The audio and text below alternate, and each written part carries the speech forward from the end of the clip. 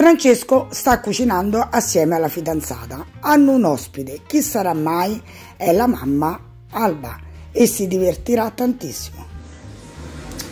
Questa sera abbiamo la cucina in fermento perché c'è un ospite.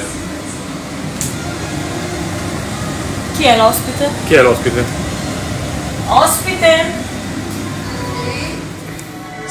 Ah! Stasera sono qui, sono ancora viva, poi mangerò la matriciana di mio figlio. Dopo mi dici com'è. Non sono così sicura, proprio